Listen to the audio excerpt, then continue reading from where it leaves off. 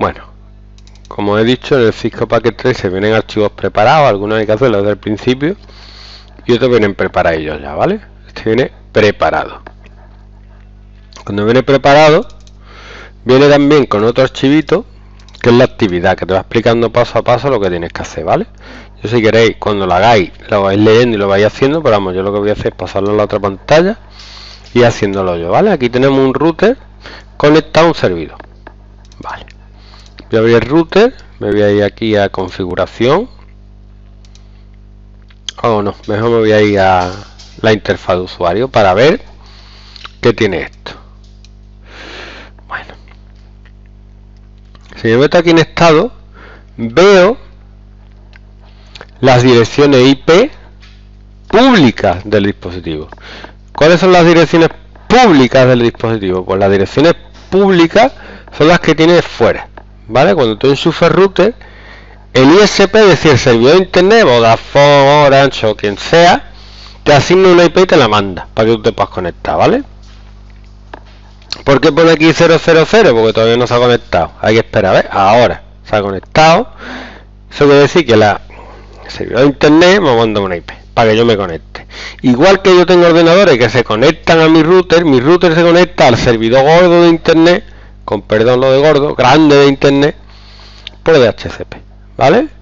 Entonces lo que ha hecho este dispositivo está arrancando un ratito, entonces el 00 y ya se ha conectado y le ha dado su, su IP y ya puede salir fuera. Esta es una IP pública, es decir, yo podría entrar en este ordenador si yo tuviera esa IP, lo puedo intentar por lo menos, que es lo que hacen los hackers, ¿vale? Van buscando IP que estén más o menos libres y van entrando, ¿ok? Luego tiene los servidores del hombre y ya expliqué lo que es más o menos, pero esto va para largo y lo vamos a ver. La máscara de su rey y la puerta de enlace predeterminada. Vale, esto con respecto al a la parte pública del dispositivo. Vamos a ver la parte privada. Si me meto en red local, veo la parte privada, que es la IP interna, que siempre es 122.168.0, 122.128.1, porque esas están reservadas. Ningún ordenador de internet puede tener esa IP solo los míos locales, ¿vale? Entonces tengo por un lado una IP pública, que es la IP que podrían ver los demás, y una dirección privada, que es la dirección que ven los dispositivos. Entonces cuando yo le pongo la puerta de enlace a cada ordenador, le pongo esta dirección, la privada. ¿Vale? Que es la dirección, digamos, por la que reconoce los ordenadores a ese ordenador dentro de mi red o a ese router. ¿Vale? Y luego tiene la dirección IP eh, del servidor de HCP que va a dar. Están habilitadas de la 100 a la 149. Si tuviera más ordenadores de 50, pues tendría que habilitar más. De 1 puedo hasta 254 puedo habilitar 254 ordenadores. O sea que vamos, aquí han puesto esto. ¿Ok? Entonces lo que voy a hacer, voy a cerrar esto. Luego voy a entrar aquí a probar una cosilla. Voy a poner un ordenador y lo voy a enchufar, ¿vale? Un ordenador genérico aquí con un enchufito. Enchufito de aquí a aquí. Vale voy a esperar un poquito que se conecte. Yo creo que ya.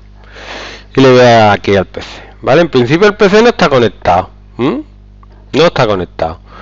De alguna manera lo tengo conectado. Si me voy a configuración fase ethernet le tengo que decir que si no le doy yo la IP que me la genere o que me la dé el router con DHCP automáticamente. Entonces si me espero un poquito está pasando lo mismo que ha pasado cuando yo conecto este aparato el router pero con este ordenador. Es decir está esperando a que el router le dé una IP vale y tardará más o menos esto es una simulación pero en la realidad más o menos lo mismo vale vamos a ver